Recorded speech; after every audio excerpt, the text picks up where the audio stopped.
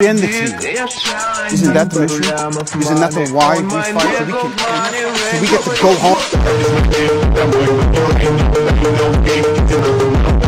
we get to go home?